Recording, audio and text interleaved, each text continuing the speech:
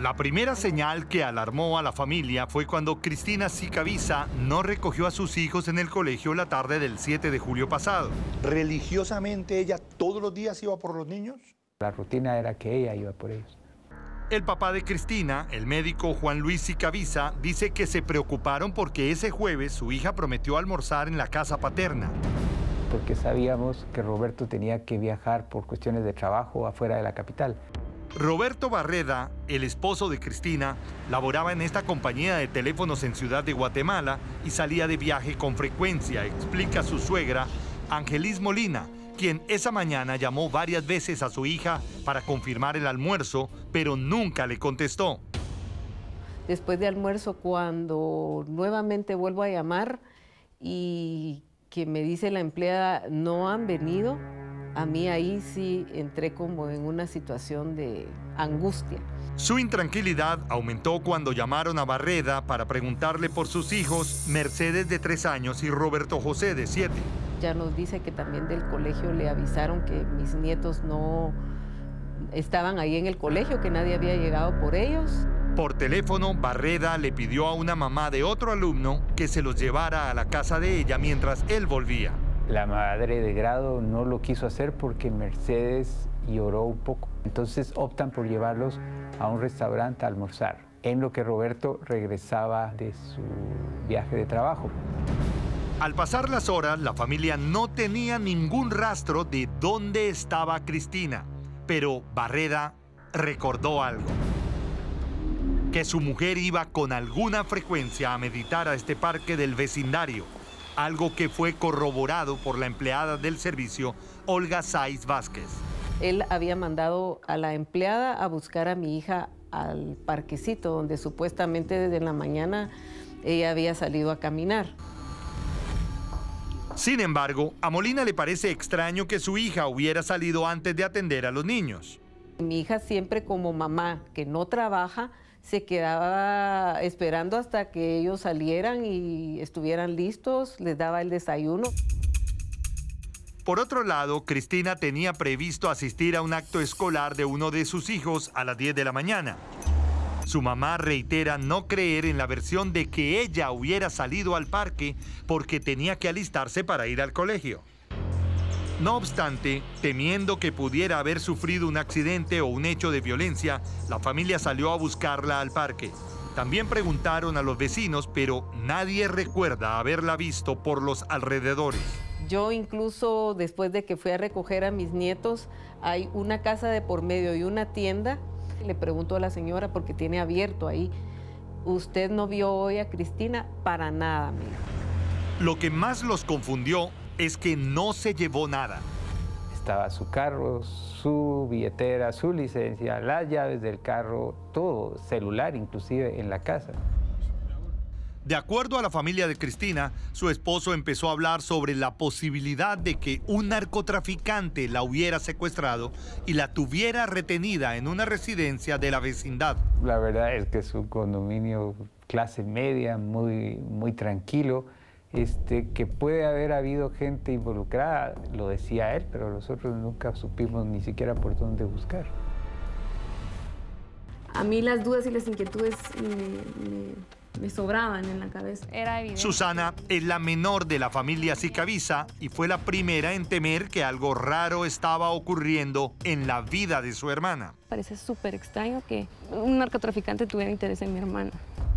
Según los Sicavisa, el esposo de Cristina contrató y pagó los servicios del investigador privado Oscar Rolando Celada, quien dice tener experiencia en negociaciones de secuestro. ¿Quién fue el que contrató mis servicios? Pero lo que más les extrañó es que Barreda nunca se los mencionara. Porque si hubiera sido un secuestro rápido se tiene eh, una llamada para negociar y en este caso no existió.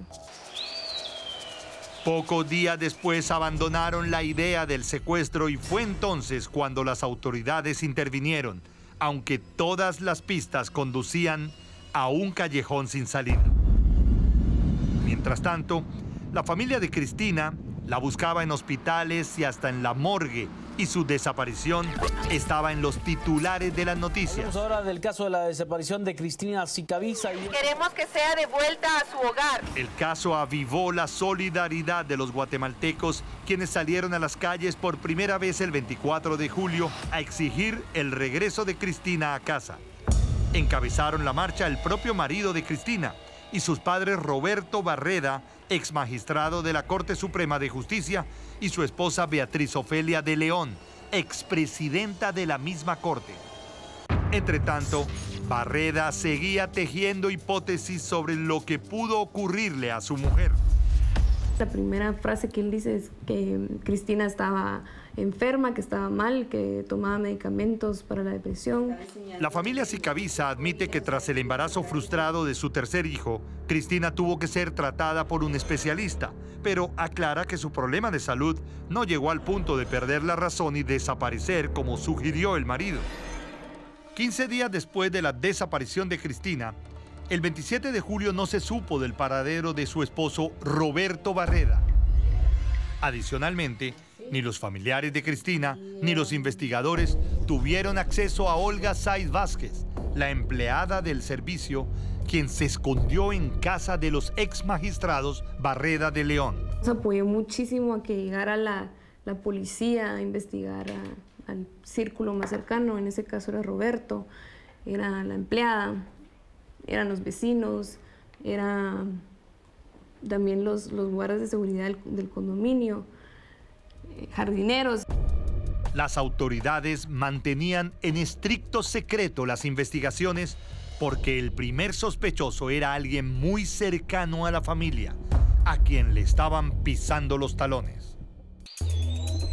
Roberto Barreda reapareció casi 48 horas después de no saberse nada de él. Con la justificación de que se había ido a un spa o algo por el estilo.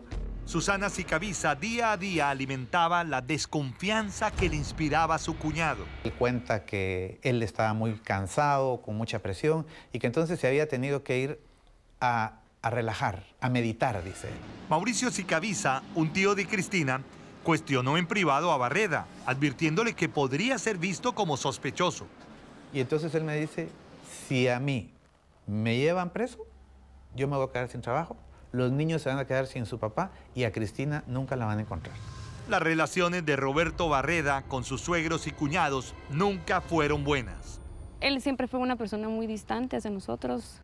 Ella empezó a percibir que algo no estaba bien en el matrimonio mucho antes de que su hermana desapareciera.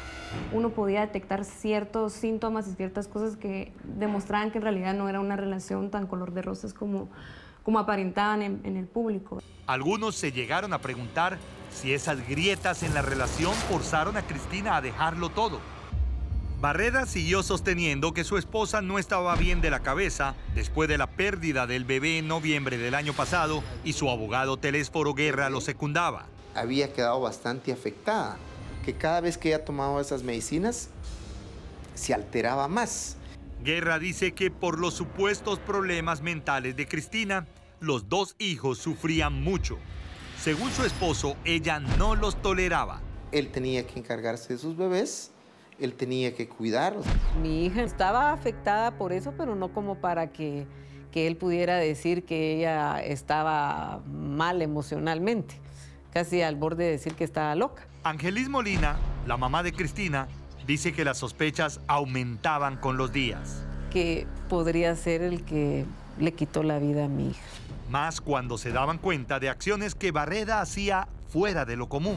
Tal vez yo lo que noté era que la casa estaba limpia y arreglada. Precisamente se sabe de que hay algunas uh, partes y piezas de la casa que fueron desaparecidos. Adicional a eso, la, la casa es sujeta a una limpieza profunda. Lo mismo hizo con su vehículo. Lo mandó a lavar cuidadosamente, de acuerdo al fiscal Ronnie López, quien tomó el caso dos semanas después de la desaparición de Cristina y se encontró con varias anomalías. En este caso se borró, eh, podríamos decir, un 90-95% de evidencia.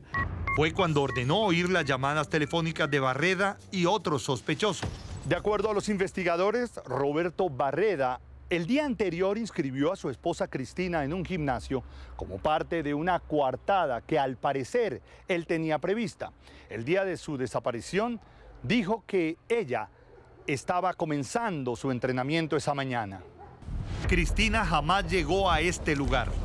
Todo apuntaba a que su esposo encubría algo. caso que él se fugue. Fue entonces cuando la jueza Verónica Galicia ordenó su arresto, pero Barreda desapareció por segunda vez el 3 de agosto, llevándose a sus hijos.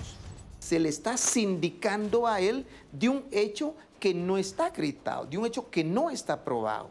Todo ciudadano tiene, digamos, la inocencia hasta que se demuestre lo contrario y en este caso, pues, él no ha mostrado inocencia con huir. Para desconcierto de muchos, la jueza Galicia fue retirada del caso.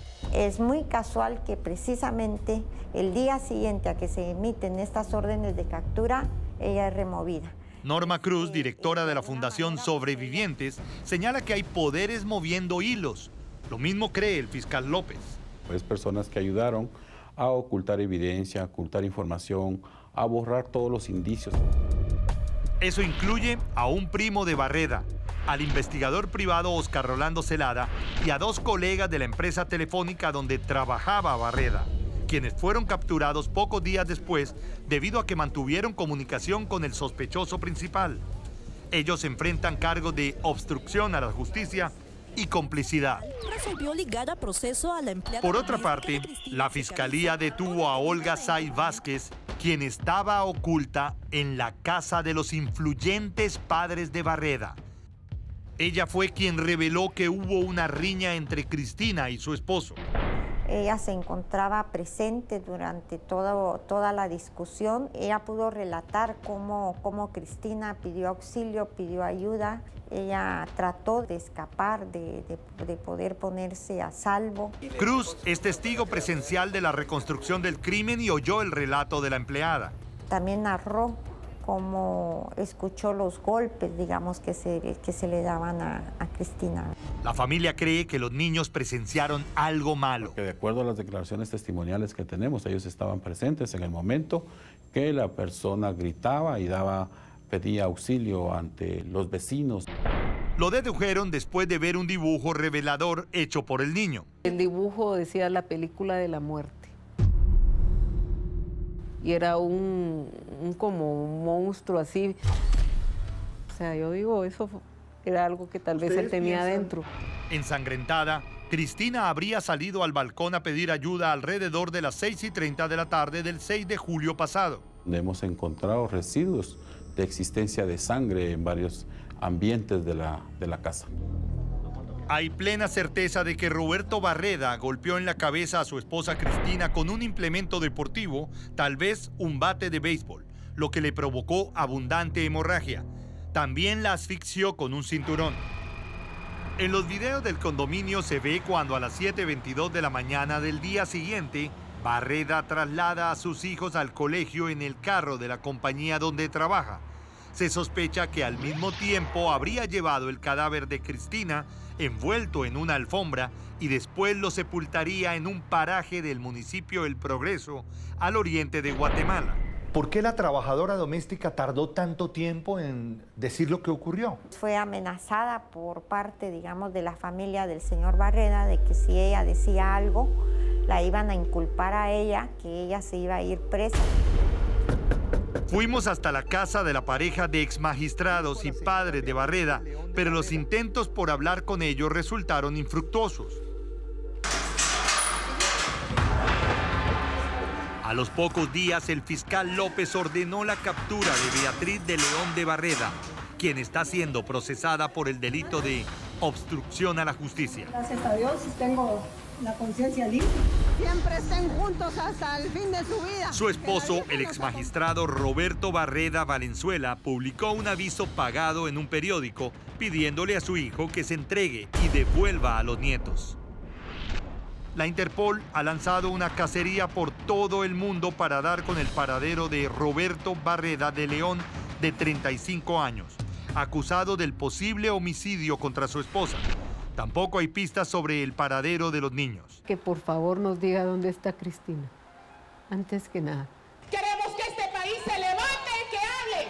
Mientras tanto, el grupo Voces por Cristina, integrado por excompañeras de colegio, sigue liderando una batalla para que el caso no quede impune.